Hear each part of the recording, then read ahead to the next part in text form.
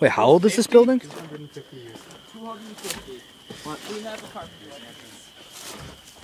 I think we get keep kicking up. You just have to hoist yourself back up.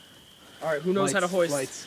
What, what? Just Someone's gonna help us hoist up. What if we have to run out of here though? This is unsafe if we have to escape. I'm just saying. back? Lights. not like the only one.